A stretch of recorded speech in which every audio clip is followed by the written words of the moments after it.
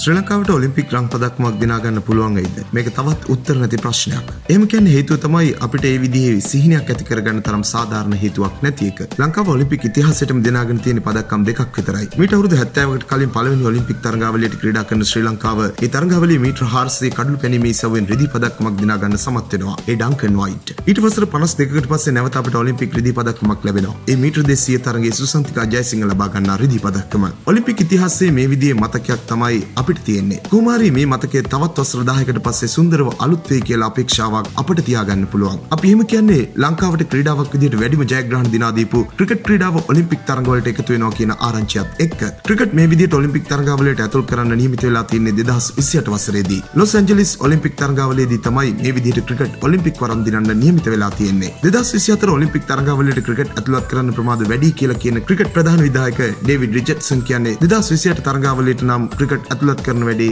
හරියයි කියලා. 2024 Paris Olympic තරඟාවලිය ගැන අපිට බලාපොරොත්තු තියාගන්න බෑ. මොකද මේ තරඟාවලියට ක්‍රීඩා ඇතුළත් කරන්න පුළුවන් කාලය මේ වෙද්දී අවසන් වෙලා තියෙන්නේ. අපිට ඒ අවස්ථාව මගහැරුණා. හැබැයි 2028 තරඟාවලියට අපිට කාලය තියෙනවා. අපි උපරිම උත්සාහ ගන්නවා ඒ තරඟාවලියට ක්‍රිකට් ඇතුළත් කරන්න. මම හිතනවා ඒ උත්සාහය සාර්ථක වෙයි කියලා. රිචඩ්සන් ওই විදිහට බලාපොරොත්තු තියාගෙන ඉද්දී අපිත් ඔලිම්පික් රම් පදක්කමක් 2028 දිනා ගන්න පුළුවන් වෙයි කියලා බලාපොරොත්තු තියාගනිමු. මොකද අපිට එහෙම බලාපොරොත්තු තියාගන්න අයිතියක් තියෙනවා. T20 ක්‍රිකට් වලින් මේ වෙද්දිත් අපි ලෝක කුසලානයක් වගේම ලෝක කුසලාන අනුශූරතා දෙකකුත් දිනාගෙන ඉන්නේ. ඕවා ඔලිම්පික් පදක්කම් වුණා නම් රන් පදක්කමක් සහ රිදී පදක්කම් දෙකක් දැනටමත් අපිට තියෙනවානේ. දිනපතා මෙවැනි වීඩියෝ බලන්න අපත් සමග එකතු වන්න. වීඩියෝට පහලින් තියෙන රතු පාට subscribe button එක click කරලා අපේ subscribe කරන්න. ඒ වගේම ක්‍රිකට් වලට කැමති යාළුවෙකුට බලන්න මේ වීඩියෝ එක share කරන්නත් අමතක කරන්න එපා. තවත් අලුත් වීඩියෝකින් හමු වෙනතුරු ක්‍රිකට් ලංකා තුලින් ඔබට සුබ දවසක්.